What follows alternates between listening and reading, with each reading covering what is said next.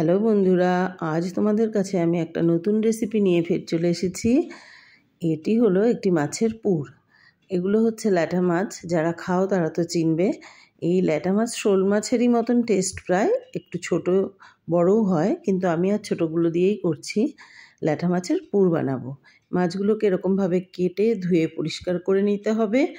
তারপরে এগুলোকে মাঝখান দিয়ে কেটে চেলা করে ভেতরে পুর ভরে ফ্রাই করতে হবে। সেগুলো তোমাদের আমি একটু একটু করে এবার দেখাচ্ছি। এই দেখো, ল্যাঠা মাছগুলোকে নিয়ে এবার সাইড থেকে কেটে একটা সাইড থেকে এটাকে চেলা করতে হবে। খুব আস্তে আস্তে সাবধানে করতে হবে যাতে হাত না কেটে যায়। দেখো, এইভাবে মাছটাকে চেলা করে নিলাম। নিয়ে এবার চেষ্টা করব আমি আস্তে আস্তে ভেতর থেকে কাঁটাটাকে বের করে দেবার। কারণ কাঁটাটা ভেতরে থাকলে মাছের পুরের টেস্টটা তোমরা পাবে না ঠিক মতো এবার কাঁটাটাকে আমি বের করে নিলাম, কাঁটা বের করে ফেলে দেবো আর লেজাটাকেও কেটে দেবো। কারণ লেজাটা কেটে না দিলে পরে ভালো লাগবে না। এই যে কাঁটা দেখো আমি বের করে নিয়েছি, লেজাটা কেটে বাদ দিয়ে দিলাম। এইভাবে মাথাটা তোমরা যদি মনে করো কেউ রাখবে, আবার কেউ না পছন্দ করলে নাও রাখতে পারল। আমি মাথাগুলো রেখেই দিলাম। এইবার মাছগুলো কেরম করে কেটে নেওয়ার পরে শিলে নিয়ে নোড়া দিয়ে আস্তে আস্তে করে অল্প অল্প থেতো করে দেব।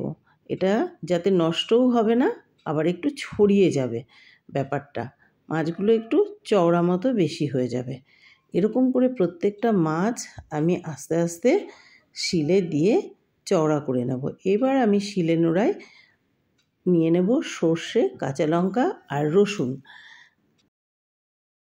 সর্ষে, কাঁচা লঙ্কা আর রসুনের পেস্ট তৈরি করতে হবে আমাকে। আমি এটা শিলে করলাম, কারণ সর্ষের ঝাঁঝটা তাহলে ভালো পাবো। এই দেখো, পেস্ট আমার রেডি এবার আমি দুটো মতো পেঁয়াজ নেব। দুটো পেঁয়াজকে খুব ঝিরিঝিরি করে ভালো করে আমার কুচিয়ে নিতে হবে। আমার তো কিছুদিন আগেই পায়ে অ্যাক্সিডেন্ট হয়েছে, এক বছর হয়ে গেছে, কিন্তু প্লেট বসেছে, জানো, যার জন্যে আমি নিচে বসতে পারি না। তবুও আমি শিলের মধ্যে বসে সর্ষেটা বেটেছি। অনেকটা কষ্টেই। এখন আমি এই জন্য পুরো ব্যাপারটা ওপরে বসেই রেডি করছি। আমি পেঁয়াজ দুটোকে খুব ভালো করে ঝিরিঝিরি করে কুচিয়ে নিলাম। নিয়ে এবার আমি সেই পেঁয়াজগুলোকে দিয়ে দেব সর্ষে, কাঁচা লঙ্কা আর রসুন বাটার মধ্যে। আর এতে দিয়ে দেব অল্প পরিমাণে নুন টেস্ট অনুযায়ী। আর দিয়ে দেবো হলুদ গুঁড়ো। আর যেহেতু এটা সর্ষে বাটা, সেই জন্য সর্ষের তেল দেব কিন্তু খুব অল্প পরিমাণে। এবার দিয়ে দিলাম সর্ষের তেল। এবার এটাকে আমি মিক্সড করে নিলাম খুব ভালো করে। এইবার মাছগুলোকে নেব একটা একটা করে আর তার মাঝখানে চামচ দিয়ে এই পুরটা দেব পরিমাণ মতো আর দিয়ে সুতো দিয়ে ভালো করে এটাকে আমি বেঁধে দেব। এমন করে বাঁধবো যাতে এটা বেরিয়ে না যায় ভেতরের পুরটা। আবার খুলে খাওয়ার সময় অসুবিধাও না হয়। এই দেখো প্রত্যেকটা মাছ আমি ভালো করে মতের পুর ঢুকিয়ে বেঁধে নিয়েছি। এবার ওপর থেকে হালকা করে আমি নুন, হলুদ মাখিয়ে নিলাম। নিয়ে ফ্রাই প্যানে দিয়ে দিলাম তেল।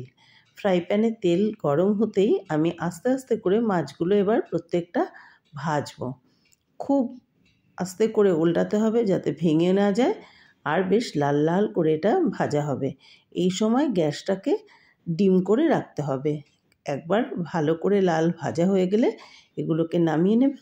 এবার আমি গরম ভাতে বসে গেছি মাছের পুর দিয়ে খেতে। দারুণ টেস্টি খুব ভালো ভালো তোমরাও এরকম করে মাছের পুর বানিয়ে খেয়ে নিতে পারো। দেখবে ভীষণ ভালো লাগবে। গরম ভাতে একটা মাছের পুর দিয়েই মনে হবে পুরো ভাতটা খেয়ে ফেলি। এতটাই এটা টেস্টি জিনিস। তাহলে তোমরাও বানিয়ে খেয়ে নিও মাছের পুর। তাহলে সবাই ভালো থেকো।